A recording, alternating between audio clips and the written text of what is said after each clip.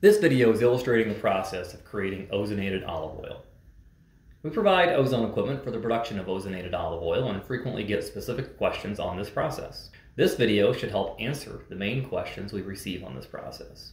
The video starts out in real time. You will see ozone gas start bubbling into the liquid at a flow rate of around 1 liter per minute. The ozone level on the ozone, ozone analyzer starts out at about zero part per million or within the margin of error for this ozone analyzer. We start the process at about 4.30 in the afternoon and the temperature in the room and the temperature of the process both start at about 70 degrees Fahrenheit.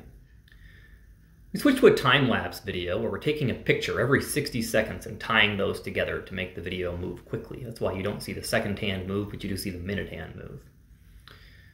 You see the ozone level on the off gas measured by the UV106 rise, but it never rises very high. It stays to a very safe level, almost until the very end of the process.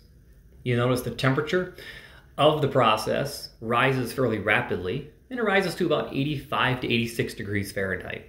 It never rises above that point. We do have a window cracked open in the room, just slightly, and that makes the temperature of the room decrease slightly as the process moves on. Interestingly, the process temperature decreases along with the room temperature, showing us how little effort it takes to maintain a consistent or cool temperature of the process without any external cooling devices whatsoever.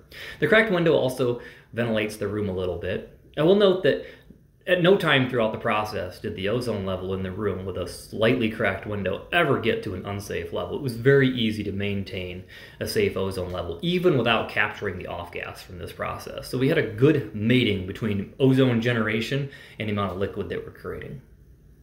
As the process goes on, you'll notice that the color changes from a yellow to a whitish color and puts a little bit of foam on the top of the process.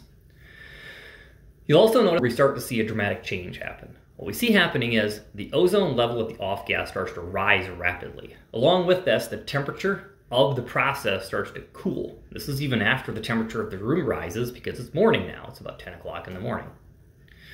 Well, that's interesting. That's showing us that the process is nearing completion. The other thing that we'll see is we'll see it start to solidify in the process. We'll start to see that the bubbles don't rise as much. We'll start to see a lot more foam and we'll see the color of the process turn to a very white color. I want to point out that even at 1,000 part per million of ozone at the off gas with 1 liter per minute of gas flowing in is only 130 milligrams per hour of ozone production. So the ozone level leaving this, uh, this reaction is very, very low. We were easily able to keep it ventilated in this room with a slightly cracked window. Towards the end, you'll see the bubbling stop almost completely. We did shut the process off finally, but you will notice that it turns to a thick, cons thick consistency. It's no longer a liquid, and that's showing us that the process is complete. That even at room temperature, we're not refrigerating this, it did turn to a very solid gel-like form. And that means the process is complete and you have created ozonated olive oil.